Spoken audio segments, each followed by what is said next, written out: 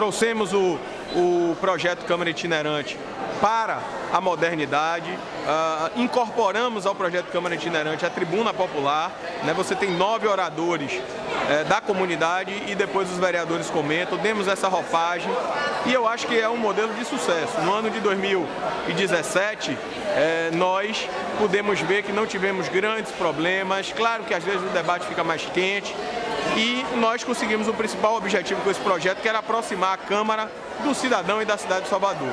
Então eu estou muito feliz de estar aqui no bairro de Valéria, a sexta edição do Câmara Itinerante, desde o seu reinício, do seu resgate.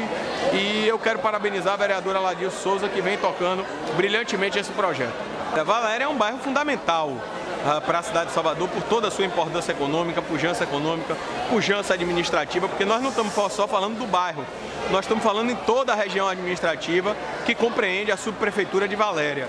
Então eu quero agradecer inclusive às subprefeituras que vem, dando uh, todo o apoio. Os poderes são independentes, poder executivo, poder legislativo, mas devem trabalhar em harmonia e juntos pelo bem da população.